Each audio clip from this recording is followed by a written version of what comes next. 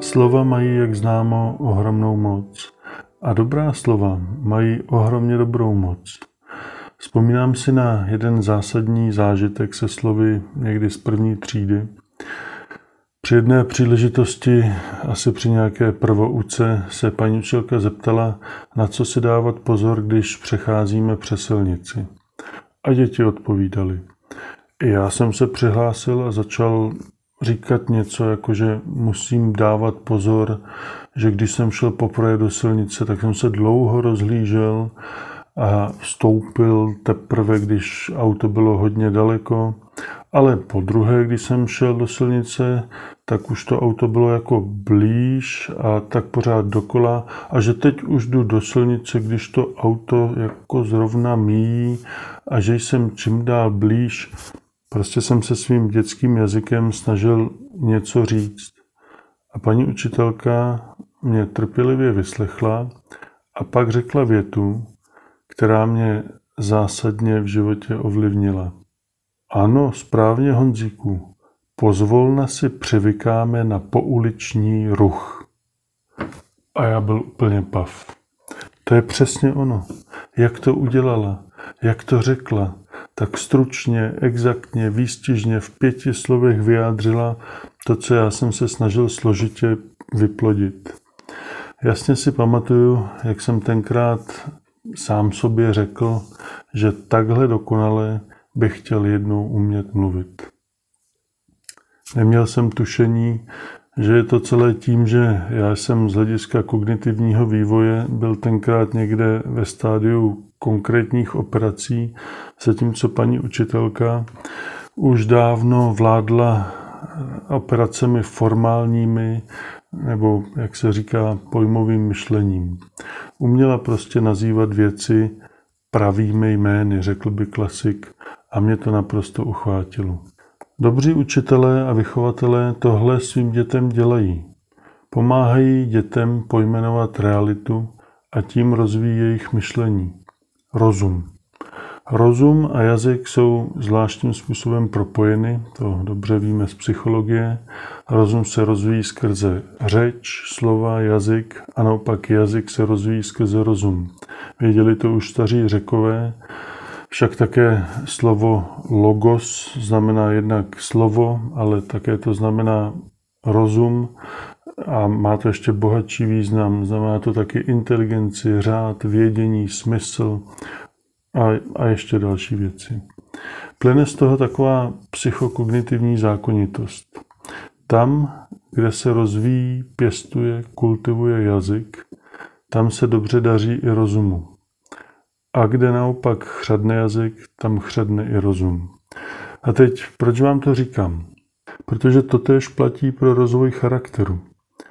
Kdo jste viděli moje předchozí video, tak asi vzpomínáte, popisovali jsme si situaci, kdy se děti snažili svým dětským jazykem popsat dobrého člověka, konkrétně svou oblíbenou spolužačku.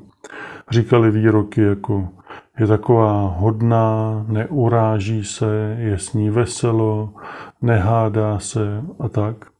A paní učitelka jim to překládala a na tabuli zapisovala. Aha, takže Kristinka je nekonfliktní, smířlivá, velkorysá, empatická, statečná, pravdomluvná a tak dále. Když tohle učitel dětem dělá, má to charakterovou cenu zlata.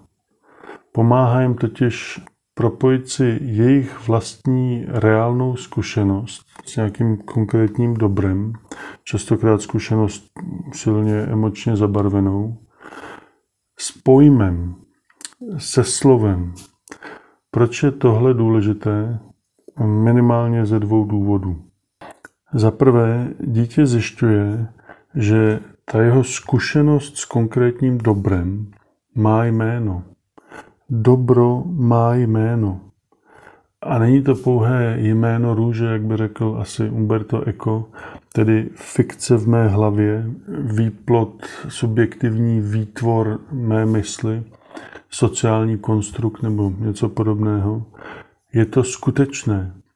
To dítě to reálně zažilo a teď ví, jak se tomu říká. Chce se mi skoro říct, že se jim to slovo stělesnilo, zhmotnilo. Pro fančmekry slovo se stalo tělem a přebývalo mezi námi. Kdyby nic jiného, tak už tohle je morální poklad do vínku dítěte jako hrom. Aristoteles by řekl, že člověk získává jazyk cnosti. A Komenský by dodal, že se dítěti děje proces morální informace. Slyšíte to? Informace. Formace a informace jdou vždycky ruku v ruce. Morálně informované dítě je na tom nesrovnatelně lépe než dítě morálně neinformované, tedy dítě ignorant. Nebo dokonce, chce se mi říct, dítě morálně dezinformované. A druhý důvod, pokud se významná emoční zkušenost propojí se správným pojmem, slovem, začlenuje se tato zkušenost hluboko do kognitivních struktur. To je takový psychologický fancy způsob, jak říct, že si to dítě prostě zapamatuje. Dobře zapamatuje a nezapomene.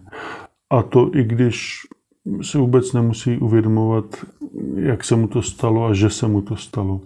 Tyhle věci chytíte jak spalničky, ani nevíte jak. Kde se vzalo, tu se vzalo, najednou mám morální kompas, vím, co je spravedlnost, čest, poctivost a naopak podrazáctví, zbabilost, prolhanost a podobně. Mám ta slova. Kde jsem k ním přišel, nevím, ale mám je.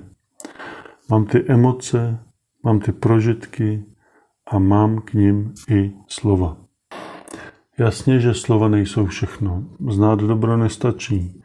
Je třeba také dobro chtít a dobro konat. A to i když se nikdo nedívá, jak říká klasik. Tedy pěstovat dobré návyky, vůli, jednání a podobně. Ale slovy to začíná. Přátelé, tohle je vlastně největší přínos McIntyrovy knihy s názvem After Virtue, česky Ztráta cnosti. On říká, jestli ztratíme jazyk dobra, ztratíme i dobro samotné. Nebudeme schopni rozlišit dobro od zla, pravdu od lži, statečnost od zbabilosti, hrdinu od kolaboranta.